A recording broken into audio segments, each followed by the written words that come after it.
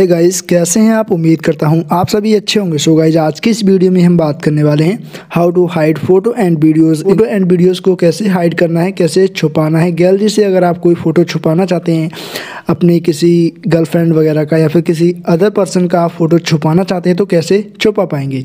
So guys अगर आप हमारे चैनल पर पहली बार आए हैं तो प्लीज़ इस चैनल को सब्सक्राइब करके बेल आइकन को प्रेस कर देना है, जिससे कि आपको हर आने वाली वीडियो की नोटिफिकेशन मिलती रहे, क्योंकि हम ऐसी टिप्स एंड ट्रिक की हिडन फीचर्स की वीडियोज़ हमेशा लाते रहते हैं।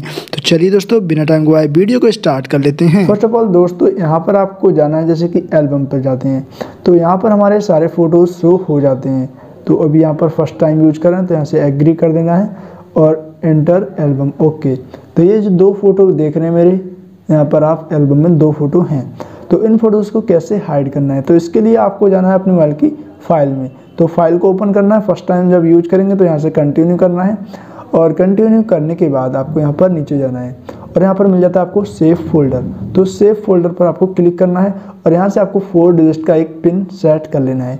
तो डबल टू डबल थ्री ये मैंने पिन सेट कर लिया इसका और यहाँ से नेक्स्ट करना है, फिर डबल टू डबल थ्री ये मैंने पिन इसका सेट कर लिया है कन्फर्म हो चुका है और यहाँ से नेक्स्ट कर देना है।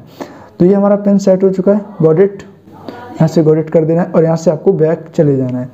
बैक जाने के बाद आपको जो भी आपको फ़ोटोज़ वीडियोज़ यहाँ पर हाइड करने आपको जाना है अपने जो फ़ोटोज़ हैं वीडियोज़ हैं, इस पर तो इमेज इस पर क्लिक करते हैं और यहाँ पर इस फ़ोटो को हाइड करते हैं। तो इस फ़ोटो पर क्लिक किया थ्री डॉट पर क्लिक किया और यहाँ पर मूव टू सेव फोल्डर इस पर आपको क्लिक कर देना है। क्लिक करने के बाद आपको यहाँ पर अपना पिन डाल देना है और नेक्स्ट कर देना है। तो ये फ़ोटो जो है हमारा वो सेव फोल्डर में पहुँच चुका है।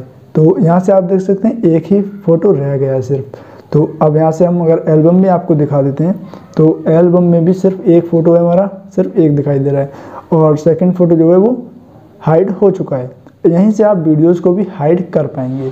अब आप कैसे आप देख पाएँगे इसको? तो यहाँ पर सेव फोल्डर पर क्लिक करेंगे और यहाँ से अपना पिन जो डालेंगे और नेक्स्ट करेंगे तो यहाँ पर आपके जितने भी फ़ोटो हाइड किए होंगे, वो यहाँ पर शो हो जाते हैं।